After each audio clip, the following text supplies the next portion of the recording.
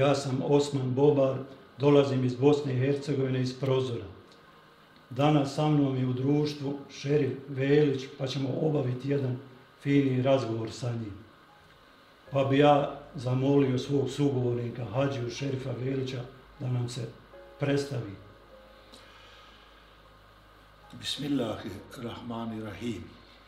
Elhamdulillahi rabbil alemin. Vessalatu vessalamu ala sejidina Muhammedi ve ala alihi ve sahbihi ecmein. Assalamu alaikum. Ti si u neku ruku već mene predstavio, dakle, e, e, e, rekao si ko sam i šta sam, da to ne ponavljam, ali eto, po nečemu imamo nešto zajedničko, a to da smo oba dvojica, i ti i ja iz Bosne i Hercegovine, ti iz Prozora, a ja iz Prijedora. To bi bilo ukratko da se spomenemo, znači nas nešto veže, imamo nešto zajedničko, a to je da nam je Bosna i Hercegovina naša domovina kojoj mi pripadamo. Hvala na tome. A sad bi te ja nešto pitao, da li u ovom našem razgovoru islamska vjerska zajednica u Jenčepingu je osnovana 1995. godine. Jedan od glavnih inicijatora bio si i ti, pa bi te ja zamolio da nam kažeš nešto o tome kako je osnovana islamska vjerska zajednica ovdje u Jenčepinu. Islamska zajednica u Jenčepingu, prva inicijativa dogodila se 1995. godine.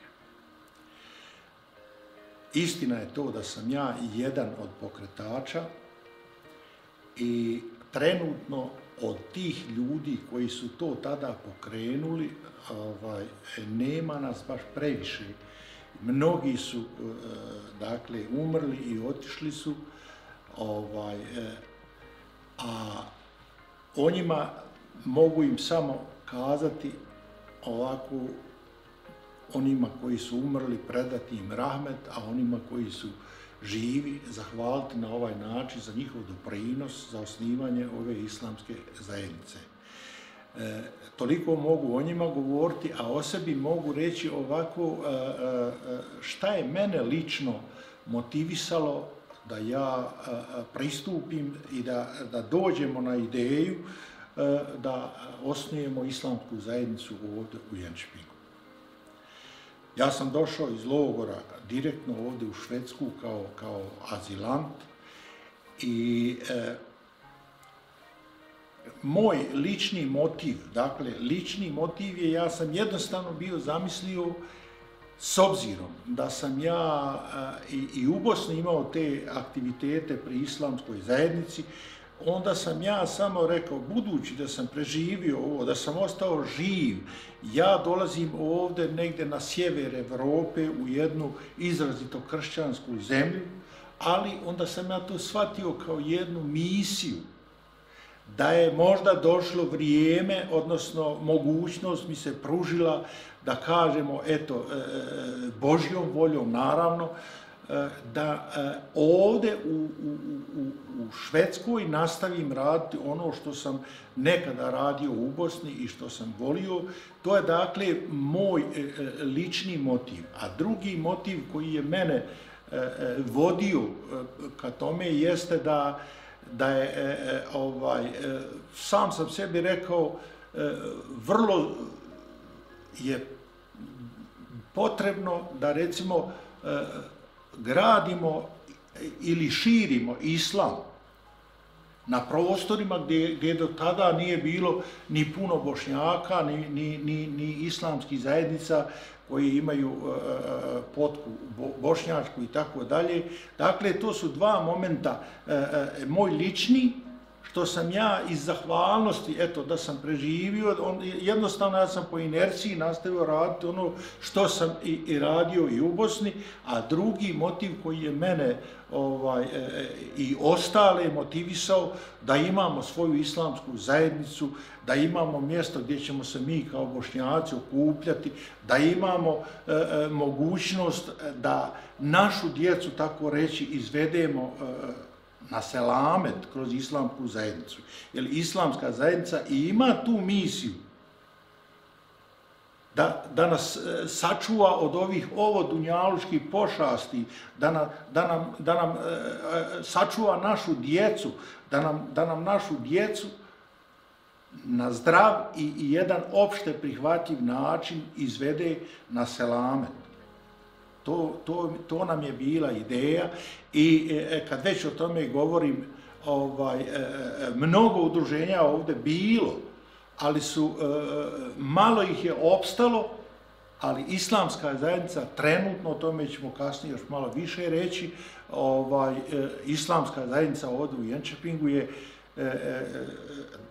u današnje vrijeme sasvim stabilna organizacija, e, odnosno institucija, da kažemo bolje, ovaj, e, sasvim stabilna koja, koja pomeni ima svijetlu budućnost. Sljedeće pitanje bi bilo šta je zadatak, već to malo napomenu, i šta radi Islamska vjetska zajednica ovdje u Jenčepinu? Pa da, e, e, na ovo pitanje mogu opet odgovoriti sa, sa onom konstatacijom da e, trenutno u ovoj islamskoj zajednici mi imamo mlade ljude, mlade naraštaje koji su, tako reći, odgojeni. Prije, mi smo, mi smo ove naše naraštaje koji danas obnašaju te časne dužnosti unutar ove islamske zajednice, mnogi od njih su u stvari odgojeni ovde u krilu ove islamske zajednice. To su danas e, etablirani mladi ljudi. Definicija jednog muslimana po meni idealna, recimo, definicija muslimana po meni jeste da je školovan, da je privržen svojoj vjeri, i da je mlad.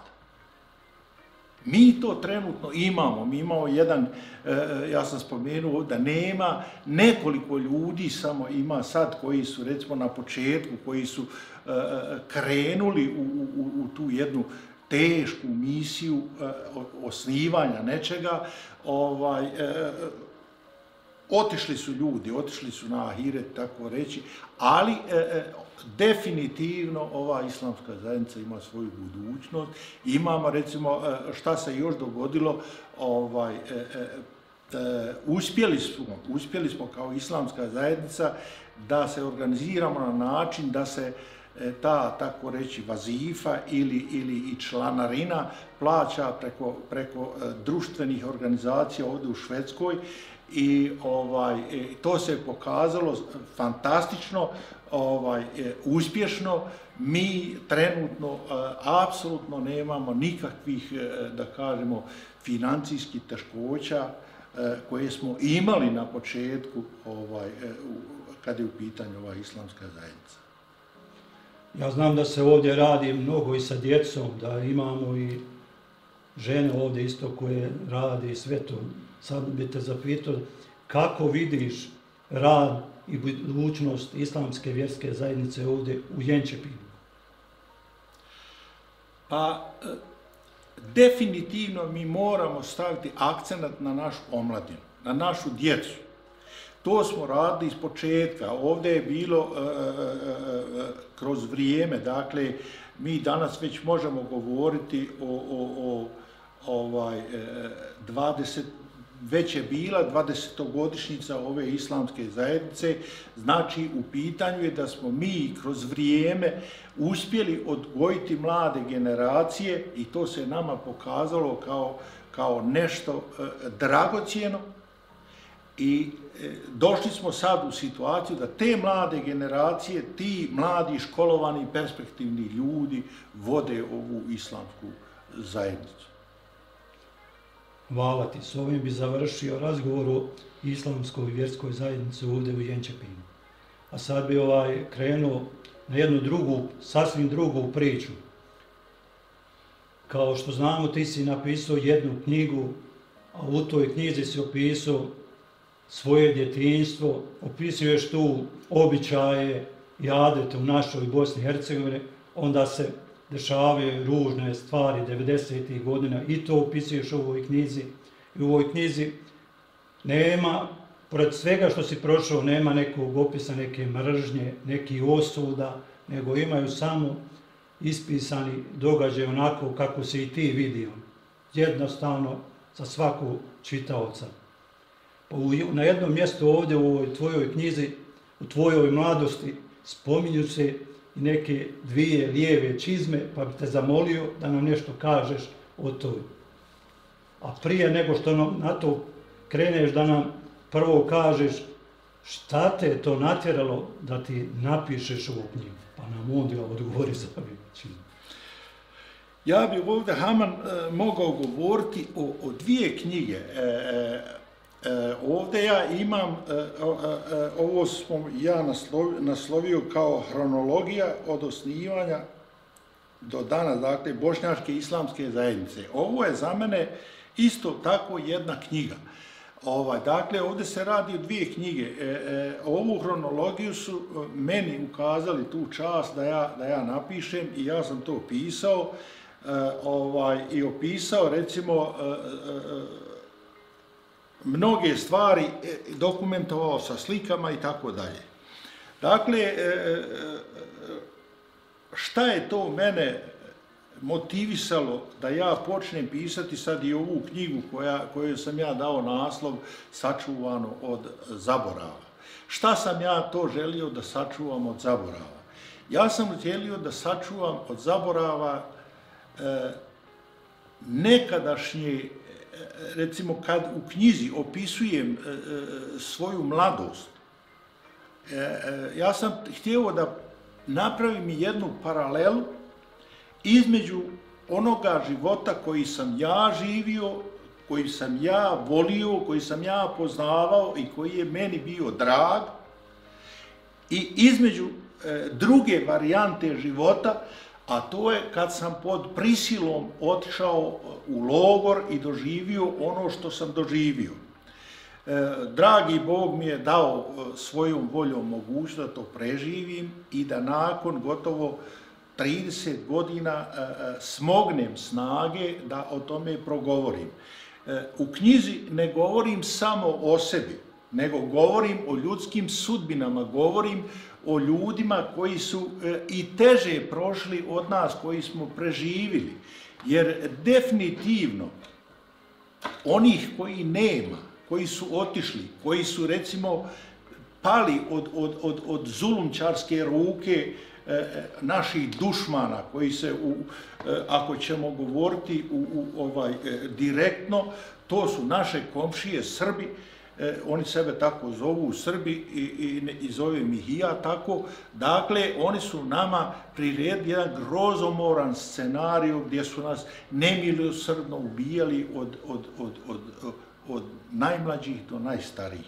E, dakle, ta knjiga je, e, ja sam htio da pravim paralelu između između onoga života koga sam ja volio, kojim, e, života s kojim su živjeli moji, moji sunarodnici i života koji nam se silom nametnuo u jednom dugom periodu i koji je u stvari trajno izmijenio načine naših života. Ja nisam mogao ni zamisliti da ću ja, da ću ja e, gotovo pola života ovaj, e, proživiti u jednoj stranoj zemlji. Ja sam mislio da ću ja živjeti tamo gdje sam rođen i tako dalje, međutim, dogodilo se nešto drugo. Jedno tvoje pitanje e, e, koje si ti postavio u vezi, recimo, e, dvije lijevi čizme. Pa ima to u mojoj priči, pa ne bi previše sve o tome duljio koga bude interesovalo, on može pogledati o čemu se tu radi, ali htio sam samo da kažem da recimo u jednom momentu kad sam ja trebao da krenem u tu nekakvu školu, u, osmogodišnju koja je bila udaljena e, e, u oba pravca, možda 10-12 km,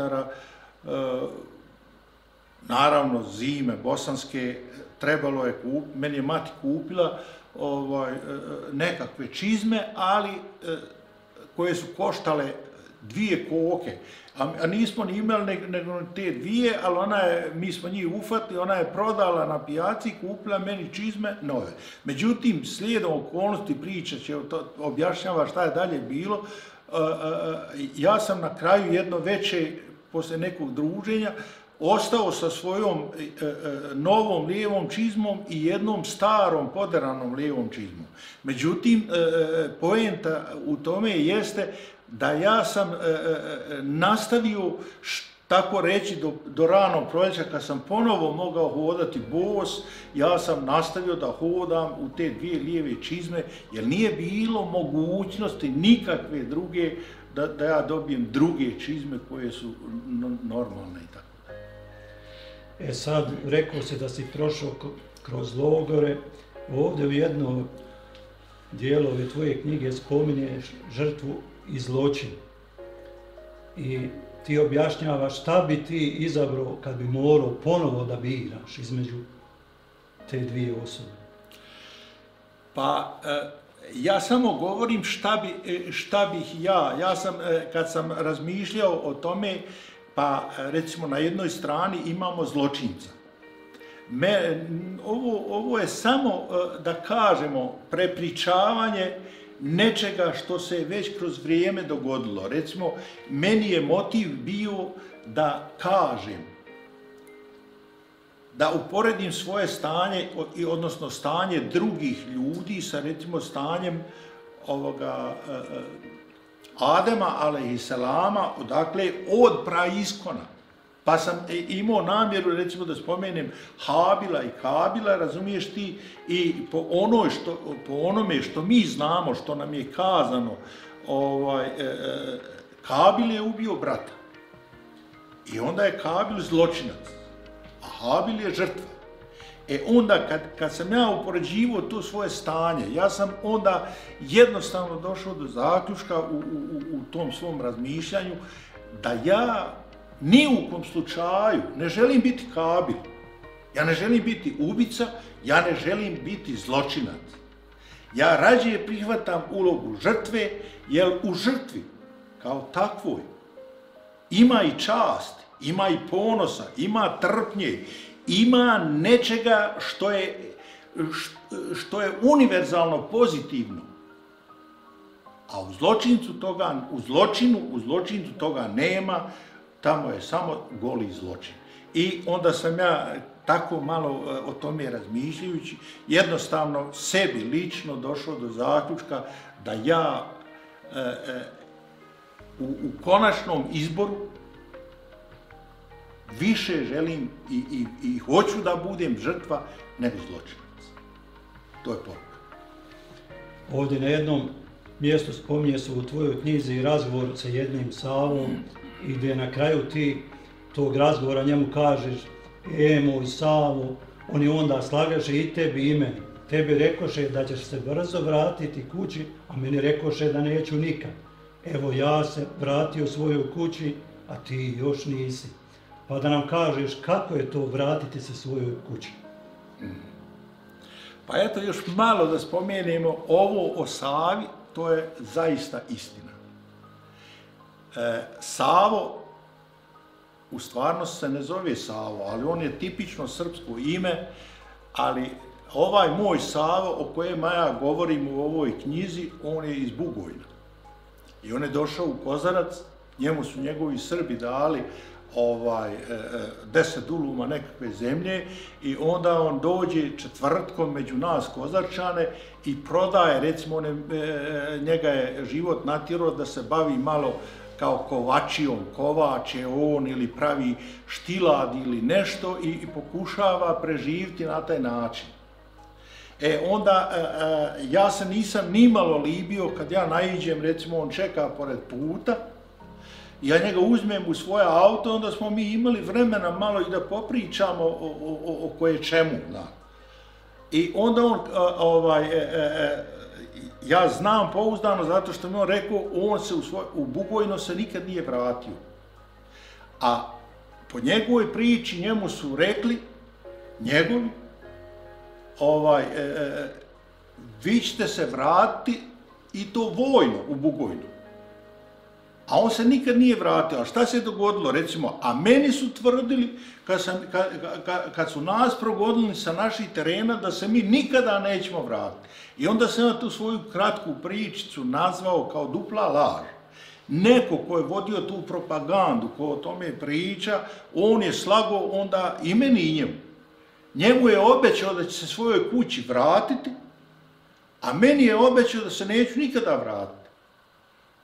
A ja se svojoj kući vratio, iako mi je obećano da neću, a on se nije nikad vratio, iako mu je obećano da će se vratiti. A to je ta politika e, koju su oni vodili i koju vode i, i, i to je ta konverzacija koju sam ja vodio. A lijepo je se vratiti svojoj kući. Svojoj se kući jako lijepo vratiti. E, ja u onoj svojoj kući sad trenutno koju u imam, e, e, e, to je jedna vrlo skromna mala kućica koju ja nekada sam, vjerovatno da je pitanje entuzijazma, ovaj, pa sam težio da ima malo više kvadrata, malo luksuznija, malo veća, malo šira, ali sad ovu koju sam pravio u toj kućici koju ja zovem moja kućica, moja slobodica, sve što jednom normalnom e, insanu treba u njoj ima, a sve što mi ne treba, to i nema. Znači jedna mala skromna kućica koja je meni ekstra draga i sad ja sam u, u, u stanju mirovanja što se tiče ti radnih aktivnosti u Švedskoj, dakle u penziji, godine su došle, ovaj, ja pokušavam šest mjeseci provesti u Bosni na toj svojoj avliji, a šest mjeseci dođem ovdje zato što mi ovdje i djeca i familija i, i, i, i, i to je opet sad neki raspolučeni život, ali e, nema drugačije mogućnosti osim tako. E sad mi reci nešto o tome, o svojoj srušenoj kući, kad se vratio, šta se desilo sa njom? Veoma zanimljivo pitanje i ovaj, e, kad sam ja dobio prvu priliku da posjetim svoje rodne kevljane, da posjetim e, e, e, potkozarje svoje, da dođem tamo gdje sam rođen i tako dalje, većina, 96-7%, sve je sravnjeno sa zemljom, sve je srušeno i e, ako tako gledam, ja sam zadovoljan da je moja kuća srušena, da nije ostala uspravna, zato što su, tako reći, sve poručene. Ali ja sam imao nekakvu ideju koja je u meni godinama živila, dok se nisu stekle određeni uslovi, između ostalog i financijski i tako dalje, jer to sve iziskivalo je, ja sam zamislio da, e, e, jer za onu moju kuću, Mene vežu emocije, mene veže ljubav. Ja sam onoj, u onoj kući, e, dakle, prve one, one, onaj život koji sam ja volio, ja sam živio tu, moja se djeca tu porodila, počela odrastati i tako dalje. I onda kad sam ja vidio te sve ruševine, jednostavno ja sam došao na ideju da taj materijal od te moje kuće, da od toga, od tog raspoloživog materijala koji je preostao, napravim jednu humku. Onda sam odabrao mjesto tamo na toj svojoj parceli, na toj zemlji, gdje sam doveo bagere, mašine i tako dalje i e, uložio dosta značajna sredstva e, da sam ja ovaj između ostalog doveo i, i deseta kamiona plodne zemlje humusa sa kojim sam sve to prekriju i posijao zelenu travu, a negde u pročelju svega sam stavio ovaj e, e, jednu kao da kažemo ploču, jedan e, teško je govoriti o tome e, jer e, nije uobičajeno da ljudi sahranjuju svoju kuću i da pišu nešto, međutim na toj ploči kad su mene te moje emocije vodile, ja sam onda smislio i nekakav epitaf, a tu stoji ovako. Uzgor, dakle, kad je kuća bila pod Slimenom, pod krovom, 1974. godina. Uzdol, kad je srušena, a to je 1992. godina, i jedna moja misao e, koja kaže ovako. Ljubav gradila, mržnja rušila. Hvala ti šerifu na ovom razgovoru i da te zdravlje posluži, da nam još toga ispričaš, ako Bog da i zapišeš. I ja bi iskoristio ovu priliku da se zahvalim i tebi Osmane